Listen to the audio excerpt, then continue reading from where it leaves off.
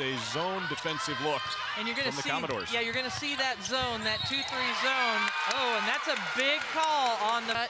They open up the court, and uh, watch for Kansas for some switching screens. Nine a game, a freshman that has really come on over the last few contests. Yeah, she has not met a shot she doesn't like either. Well, able to handle the pressure even though with a trap in the front court. Now they get it down low and Jackson lays it in. Here's shortened COVID season, and Shea Ralph came in and really it, working with what she has in the cupboard.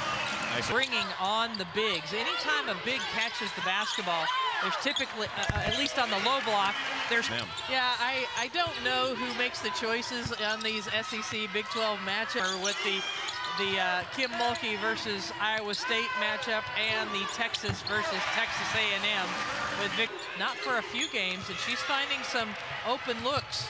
Alexander the steal.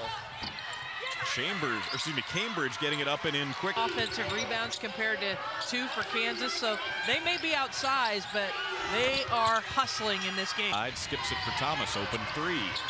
There's a good start to the half for KU. Cambridge has to force something. Count it with the foul. Times during her career, and just hoping for good news for Paige Bueckers, but just getting the word just Thomas feeling it.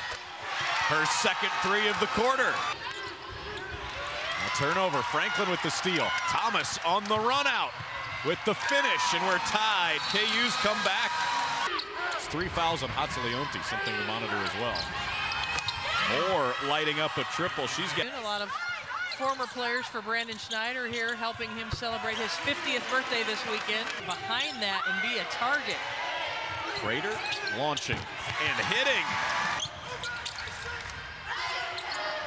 Over the top, Jackson, there's the height. High-low, Papadopoulou, soft touch.